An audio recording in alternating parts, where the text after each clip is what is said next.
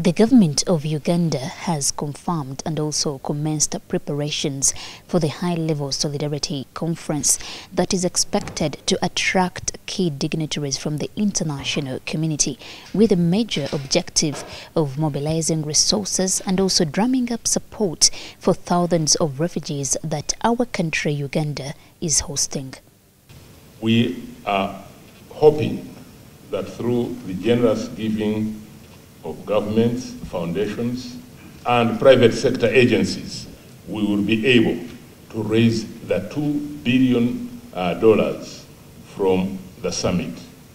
That is the short-term funding gap we are currently facing uh, to take us for one year.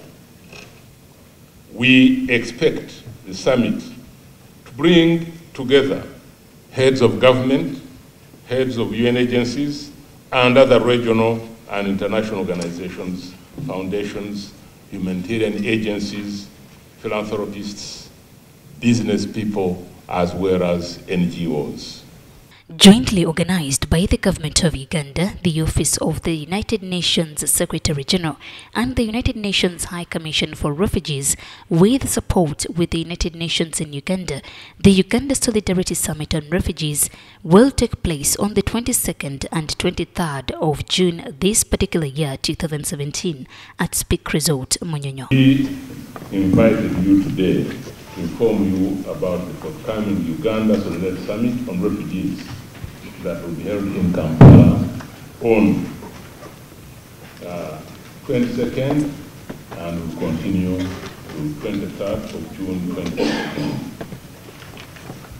The summit is convened and jointly hosted by His Excellency President Yoweri Museveni, UN Secretary General Antonio Guterres, with the support of the United Nations High Commission for Refugees, Philip Grandi.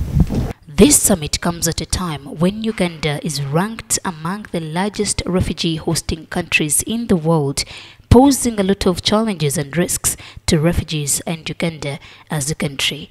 Currently, we are hosting refugees from South Sudan, Burundi, DRC, Somalia, Rwanda, and Eritrea. It is estimated that by the end of 2017, end of this year, a further 400,000 refugees will have arrived in the country. The above numbers are placing a huge strain on our already stressed ability to cater for the food, water, sanitation, health, and uh, educational needs of the refugees and their host communities. Yet, we have to keep our borders open. to Our brothers and sisters who are forced to flee their homes and countries due to war, to starvation, to violence, and to persecution. According to the Prime Minister, the Right Honorable Ruhakana Rugunda, the violence in South Sudan is the sole reason as to why the number of refugees continues to escalate every now and then. On average, Uganda has been receiving about 2,000 refugees per day for the last six months. This flow of refugees into Uganda is likely to continue because of the recurring cycles of insecurity and instability in the region from where the refugees are fleeing.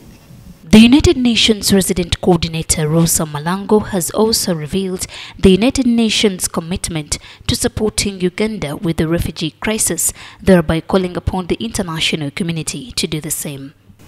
I would like to use the opportunity to invite member states of the United Nations, private sector leaders, and citizens to stand with Uganda shoulder to shoulder and help mobilize support, contribution, and awareness of the situation and the summit itself.